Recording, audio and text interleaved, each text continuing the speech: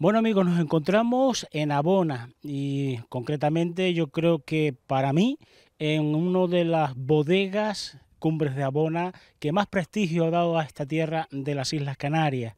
Un vino excelente con nosotros se encuentra pues Manuel Marrero. Manuel Marrero es conocido pues yo creo que en toda Canarias eh, sobre todo porque ha sido un impulsor del sector primario, en el sector de los vinos, y hace algunos años también un impulsor del aceite de oliva. Cuando en Canarias, bueno, pues había eh, eh, bueno, muy pocos cultivares de olivos, él pensó que era justo y necesario sacar adelante una producción olivarera porque eso iba a tener futuro y dicho y hecho, y hoy es una realidad. Vamos a saludar. Don Manuel, buenos días. Hola, buenos días, ¿qué tal?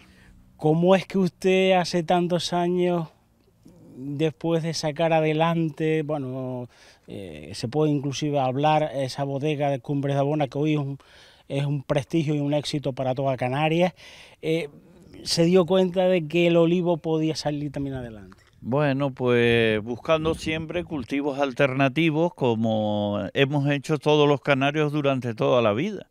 Sabes que aquí pues hemos cultivado la caña de azúcar, la cochinilla, eh, las papas que ya también están retrocediendo bastante porque éramos exportadores y ahora somos importadores, desgraciadamente.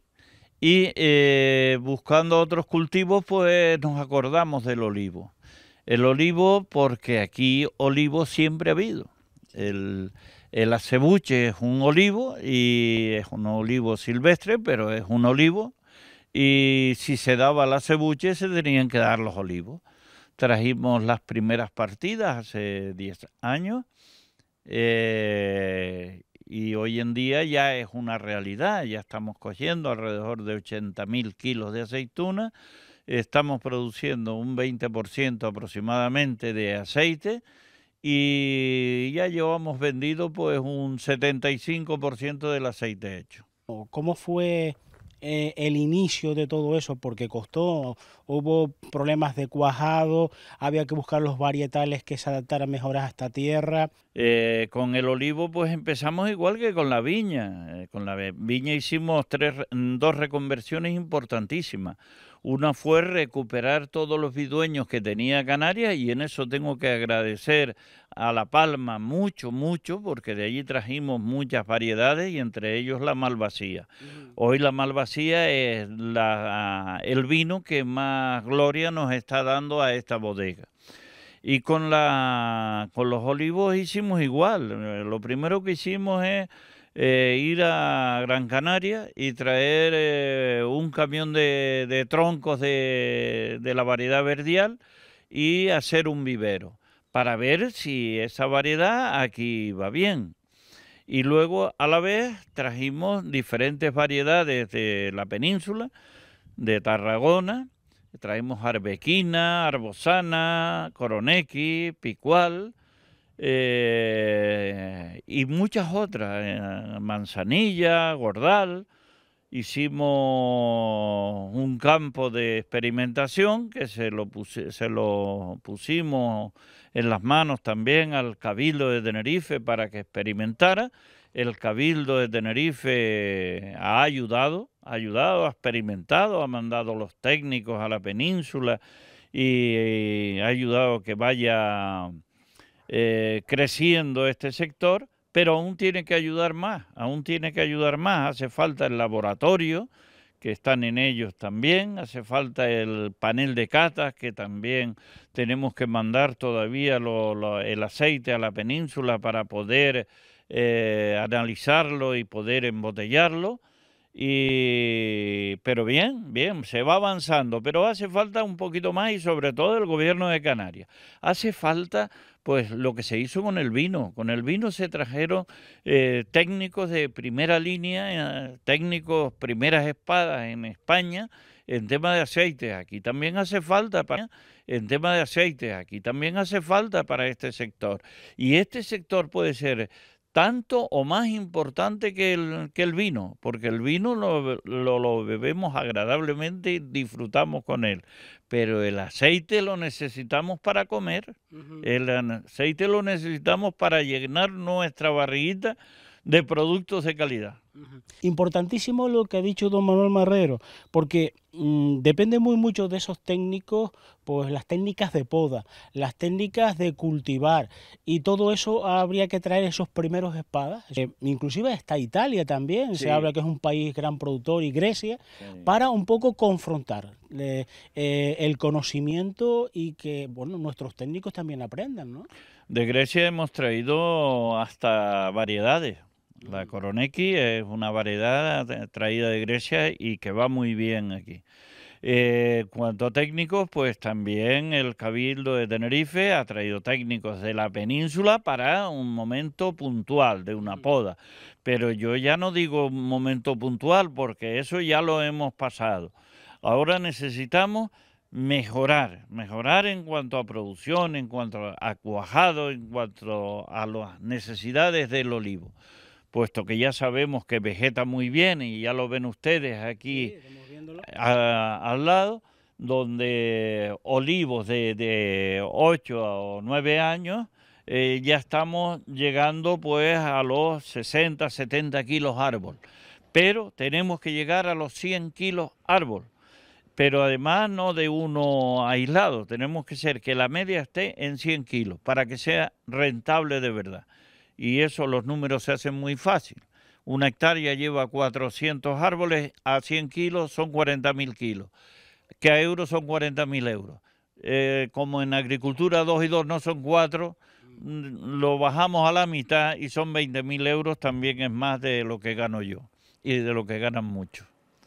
Eh, yo creo que sí, que puede ser muy rentable y que no es muy exigente en agua y sobre todo para los agricultores que ya vamos pasando de años, eh, nos hace falta pues plantas que no lleven tanta mano de obra, el olivo lleva poca mano de obra porque simplemente algunas sulfatadas y, y la recolección es el trabajo mayor que lleva si se siembran bien alineados y bien sembrados, pues eh, se utiliza todo mecanización. Hemos visto en la península de Don Manuel maquinaria que inclusive iba pasando, iba recogiéndolo y no necesitaba pues el bareo clásico. Sí, efectivamente, ya hoy está todo mecanizado y además disfrutamos arriba de las máquinas, porque ya las máquinas vienen con aire acondicionado y hasta música. Por lo tanto, la agricultura ahora es mucho más fácil, es mucho más cómoda, disfruta uno en ella, pero la administración no tiene que, que, ir en contra de los agricultores, tienen que dejarnos trabajar tienen que dejarnos trabajar, de verdad, esto lo digo de verdad. No, el agricultor no puede estar llenando papeles todos los días para poder sacar una plantación adelante. El agricultor se dedica a producir y los papeles, para eso están los técnicos de despacho. ¿Cuántos productores tenéis ya? Pues ahora mismo la asociación está entre 70, entre 70 y pico agricultores. ¿Y la media que tienen en hectáreas por cada uno de los agricultores, cuánto puede ser? Bueno, hay agricultores que, por ejemplo, la bodega tiene 20 hectáreas propias. Y luego hay agricultores que tienen una hectárea, 5.000 metros. Eh, eso es lo bueno que tiene el olivo, que se puede adaptar perfectamente a nuestras tierras. Es poco exigente en agua y, y lo que sí es importante es eh, plantar lo que lo puedas mecanizar el día de mañana. Porque yo creo que este año quizás no, pero el próximo año seguro que vamos a tener aquí ya máquinas para la recolección de la aceituna. Como cortaviento, en vez de estar sembrando pues, pues otros tipos de árboles que no dan nada, el olivo se puede sembrar, corta el viento y, produce aceite mm. o produce aceituna, que esa es otra industria que tenemos que montar en Canarias. Hay que ver la cantidad de toneladas de, aceitunas que se venden aquí aliñadas y se venden muy bien, a 12 o 13 euros el kilo. Eso es una industria que queremos hacer aquí cuanto antes. Por eso estoy pidiendo eh, cuanto antes que se modifique la ley del suelo y se deje trabajar en suelo rústico a los agricultores. No quiero decir con esto que se desmadre todo el mundo, pero que se pueda montar una industria en que va en suelo rústico, eso sí. Hoy en día, con la inseguridad que tenemos en el campo, imagínese usted, si usted tiene una finca en explotación y no la vive, se la desvalijan. Usted tiene que vivir en la finca. Pero es más, hay veces que no queda otra necesidad. Yo he visto señores de 60 años quedarse dentro del goro de un cochino, porque la cochina estaba pariendo esa noche y había que salvar los cochinitos porque si no los escachaba. Y quedarse el hombre ahí dentro del goro del cochino con un poco pinocho y quedarse allí. Por lo tanto, nosotros necesitamos diferencia. Nosotros no tenemos esas grandes explotaciones. Donde, que la normativa está hecha más bien para grandes explotaciones. Y la ganadería es igual. Y, y, no solamente eso, ya les digo, si no hay alguien en la finca, yo le estaba diciendo que en mi casa todavía dejo el coche con las llaves puestas, pero no es así en todos lados. Eh, tenemos fincas que nos han robado las llaves, las llaves del riego, varias veces ya hemos decidido por, abandonar la finca. Bueno, pues ahora nos encontramos con Tanaira Rodríguez, ella es la técnico de Cumbres de Abona.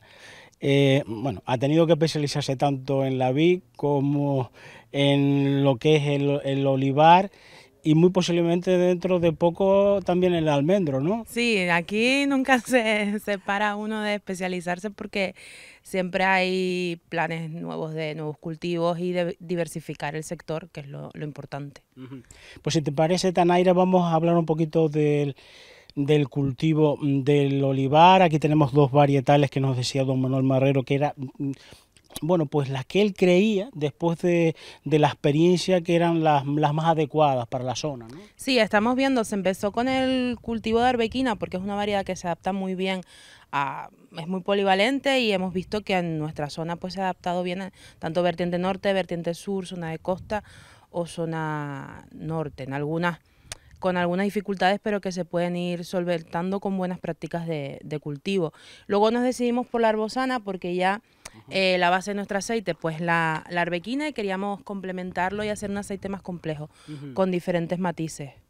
Para eso se utilizan diferentes varietales, ¿no? Sí, eh, siempre para que un aceite de oliva virgen extra sea el de máxima calidad dentro de, lo que es un virgen extra tenemos que buscar que pique y que amargue y que son atributos positivos.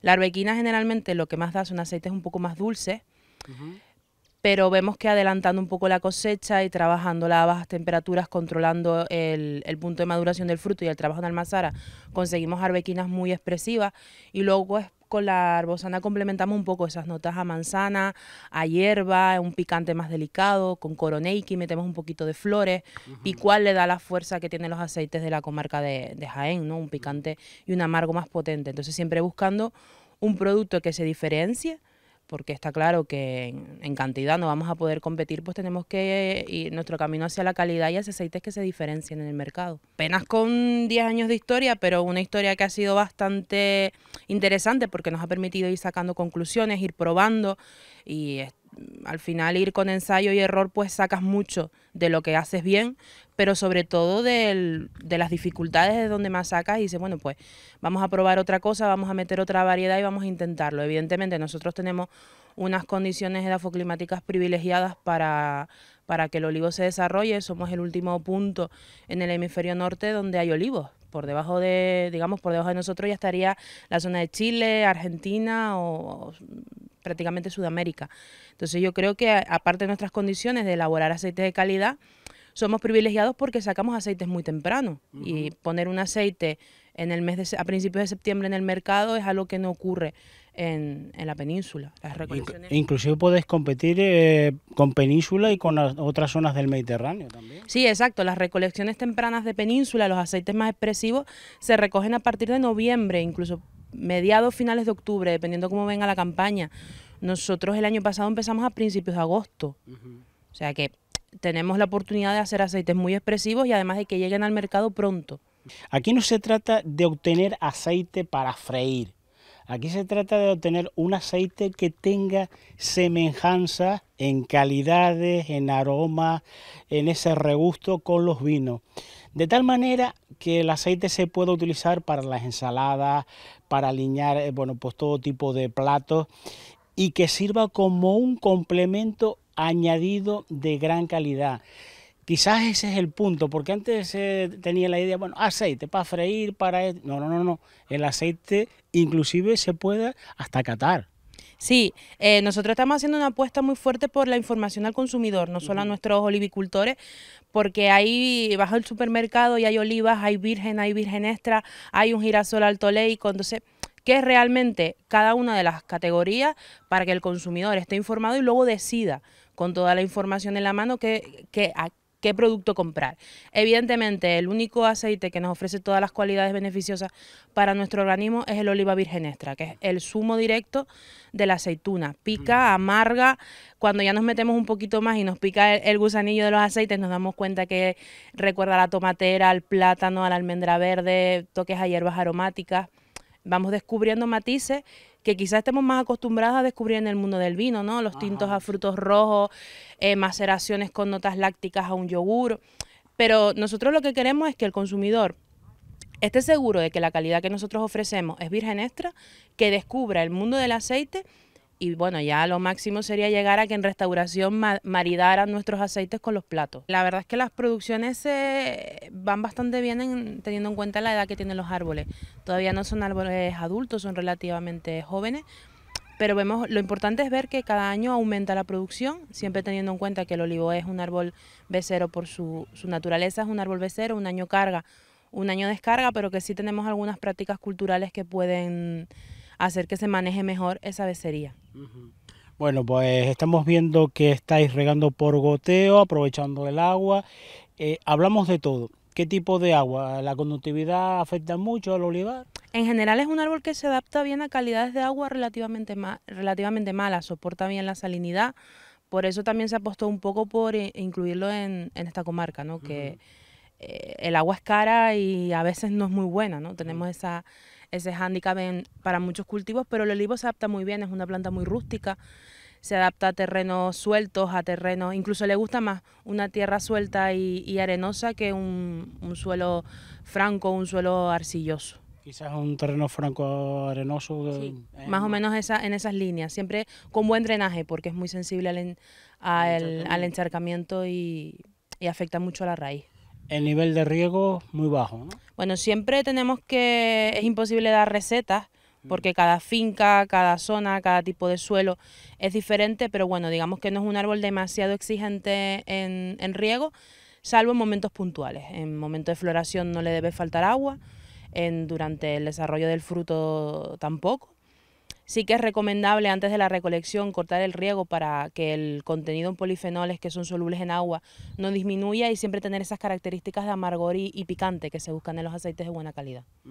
Hemos visto los plantones que venían de la península, la del periodo de adaptación, se iban pasando de macetitas más pequeñas a otras mayores y luego se plantan. Sí, siempre recomendamos pues, un estercolado de fondo a, fin de mejorar la estructura del suelo, aportar eh, materia orgánica y bueno, eh, reservas nutricionales para los primeros años de, la plantación y luego ya irlo complementando con diferentes tipos de abonados, desde pues podemos utilizar abonado foliar que el olivo lo recibe muy bien, abonado eh, granulado, depende un poco de cómo esté planteado la finca.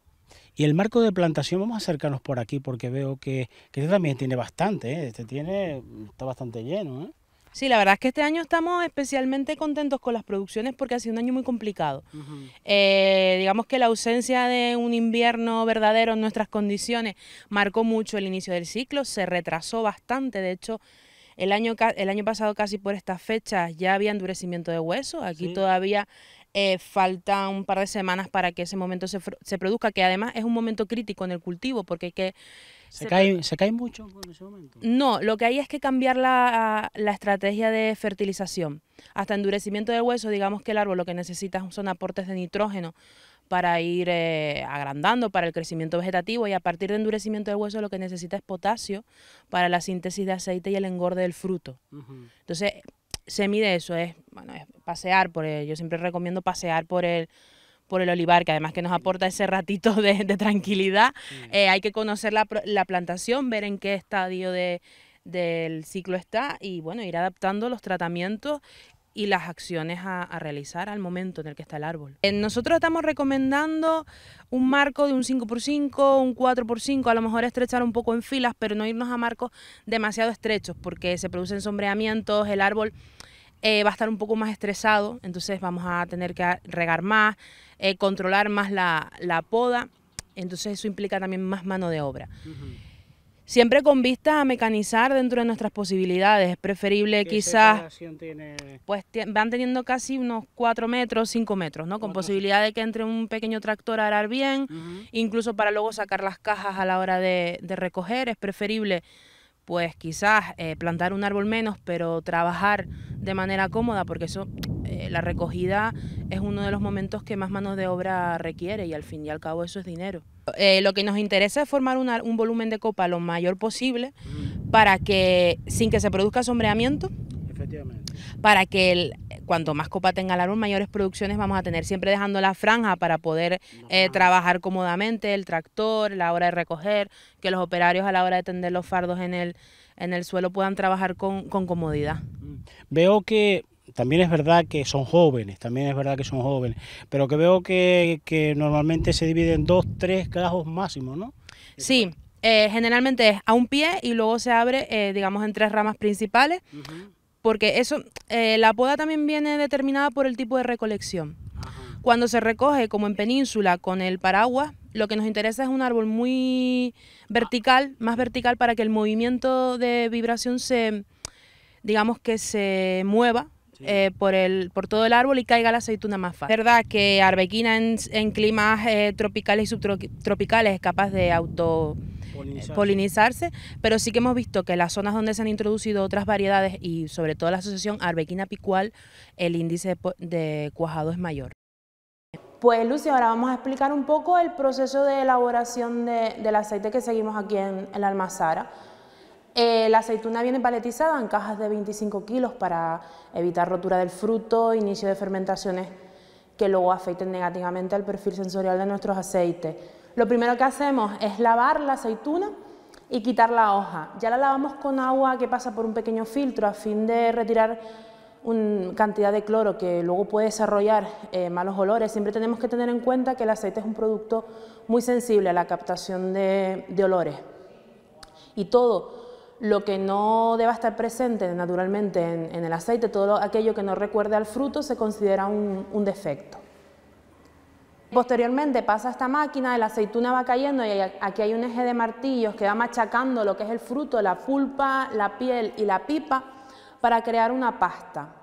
En este tambor cilíndrico lo que se produce es el batido de, la pasta. Este es otro punto crítico en el proceso de elaboración, ya que la temperatura de batido y el tiempo de batido puede determinar las características organolépticas de nuestro aceite. Demasiada temperatura y batidos demasiado largos disminuyen eh, la carga aromática y da unos aceites al final un poco más planos. En función del estado de maduración del fruto, elegiremos y determinaremos el tiempo de batido y controlaremos la, temperatura. Aunque nosotros siempre eh, recomendamos y Estamos muy encima de nuestros agricultores de que la aceituna no hay que traerla completamente negra, sino al inicio del embero para que se mantengan esas características positivas, ese picante y ese amargor en el que, del que hemos estado hablando a lo largo del, programa. Posteriormente pasa a esta máquina, que es un, un decánter o centrífuga horizontal, nosotros eh, utilizamos un proceso de extracción porque utilizamos fuerza centrífuga. Esta máquina va girando con un diferencial de 3.000 vueltas y va creando anillos en su, en su, interior. El anillo exterior sería el anillo de pasta, cuya densidad supera 1. Eh, Seguiría el anillo de agua, porque siempre el fruto tiene una carga de agua, que además nosotros en el, en el proceso de elaboración para facilitar la extracción del aceite incluimos un poquito de agua. Y luego el anillo mm, interior sería el, del aceite. Una vez que el proceso y que la máquina se pone en marcha, por esta primera salida que vemos aquí saldría ya el aceite que se podría consumir directamente, sería un aceite en rama, un aceite algo turbio.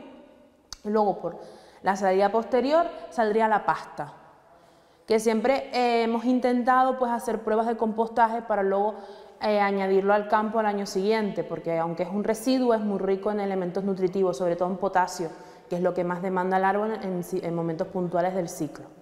Como les comentaba, este aceite en rama ya se podría consumir directamente. Nosotros, eh, dado que queremos eh, mejorar la presentación del producto, pues realizamos un filtrado. Para filtrarlo, pues utilizamos un filtro de placas muy parecido al, del vino y con unas placas de celulosa específicas para aceite que retiran sólidos en suspensión y hacen que nuestro aceite quede más brillante. Y luego ya pues embotellamos y etiquetamos y mandamos a los puntos de venta. Don Manuel, nos han hecho un recorrido por Almazar, hemos visto un poquito el proceso y tenemos aquí la mesa donde están, bueno, pues las presentaciones ya en botella y también los premios. Porque este aceite ha sido bastante premiado, yo creo que con razón. Eh, la verdad es que estamos muy orgullosos porque esta es la culminación de un proyecto que empezó hace 10 años, concretamente el 31 de diciembre del 2005, donde se hizo la primera elaboración y que ya estemos obteniendo pues medalla de oro por el gobierno de Canarias, gran medalla de oro del Cabildo Insular de Tenerife y dos medallas de plata, pues importante. Pero más que eso todavía es la gran medalla está en que lo estamos vendiendo un aceite que se está vendiendo a 16 euros el litro, ¿quién lo diría? Que en, Tenerife íbamos a consumir aceite de 16 euros el litro. Pues sí, se ha vendido casi en un 80% la producción y es más, eh, vino una empresa la semana pasada de Ohio, de los Estados Unidos, y quieren en diciembre llevarse un contenedor de aceite y vino para Estados Unidos. Eso sí que es un éxito. Eso es un éxito y una noticia importantísima, porque es tener toda la producción vendida de aceite y de vino y que podemos seguir creciendo. Y yo la verdad, eh, para los Estados Unidos habíamos hecho algunos pininitos y tal, ¿eh? pero cuando una empresa de allá viene acá a interesarse es porque ellos saben que aquí hay calidad y que podemos cumplir. Nosotros estamos en, en botellas de 250, botellas de 500 y próximamente estará la de 750. A medida que vayamos avanzando, incluso a granel en garrafas de 5 litros también vendemos. Y esto es lo mejor que podemos comer. Tengan en cuenta que un buen motor necesita un buen aceite para que funcione bien. Y en los Estados Unidos se utiliza como medicina el aceite de oliva virgen extra. Que no le confundan con aceite de oliva, que después no tiene más que un 10% de oliva, o con un aceite virgen, que es el 50%, o con un aceite lampante y lo llaman de oliva. Hay que tener mucho cuidado. Eso de refinados y tal es que viene de refinería. Por lo tanto, el aceite de oliva virgen extra es el mejor vamos a las empresas, como haya 15 eh, personas, le hacemos una cata allí gratuitamente y le explicamos a la gente la calidad del aceite.